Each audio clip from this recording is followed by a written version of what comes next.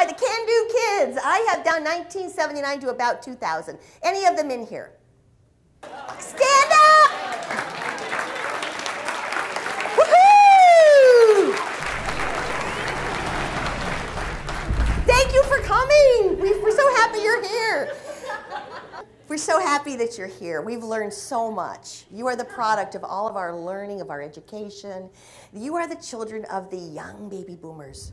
I, know, I know that Devin, you called it the millennials, but I call it Generation Y. Like in, well, why? Why do I have to come in that time every morning? Well, nobody does anything till 10 o'clock. Why? I've been here two weeks. It's time for a raise.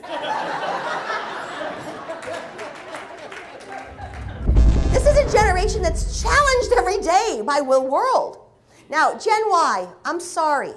I love you. And you're, when I say, I'm going to say the bad first and then the good. Is there bad? No. I'm going to talk a little bit about you, but there's going to be good coming, so I don't want you to walk out. That's why I'm saying this to you.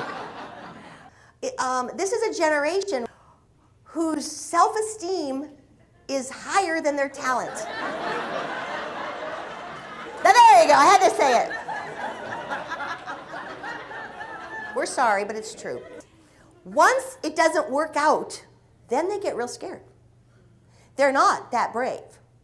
So the reality of it is, is they need a lot of coaching, they need a lot of training. This is really good for us to hear. How do we make it work? So we have to kind of look at all of that and we have to understand. I always think of Sanjaya. he had guts. He tried and he thought he was going to be. Didn't you think he thought he was going to make it? But now where is he? We don't even know because you see he stumbled. And so maybe he's taking voice lessons, right? I said he danced like he had restless leg syndrome. You know, maybe he's taking a dance, but but he did stumble. And so this is a generation. If you study this generation, this is a generation that believes in giving. This is a generation that is connected to the world. It's very interesting.